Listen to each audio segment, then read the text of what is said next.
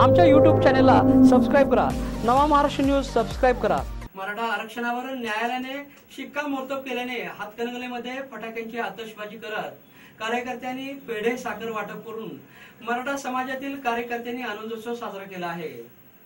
समाजातील कार्यकर्त्यांनी पाच तिकडी येथे एकत्रित येऊन घोषणा दे साखर पेढे वाटून तसेच फटाक्याची आतषबाजी करून हा आनंदोत्सव साजरा केला. मराठा समाज अध्यक्ष दयासागर मोरे हातकणंगले तालुका मराठा समाज समन्वय समिती अध्यक्ष प्राध्यापक रवींद्र पाटील उपाध्यक्ष दीपक पुनुरे यांची यावेळी भाषणे झाली. यावेळी माजी उपसरपंच चंद्रकांत जाधव पंडित निंबाळकर सुभाष मोरे दीनानाथ मोरे कृष्णनाथ जाधव रामचंद्र मोरे श्रीकांत इंगवले अमोल चव्हाण मंगेश नरुडे अमर वरुटे राजू जांभळे राजेंद्र वाडकर भूपाल ओरुटे दिलीप पाटोळे यांच्यासह अनेक कार्यकर्ते यामध्ये सहभागी झाले होते.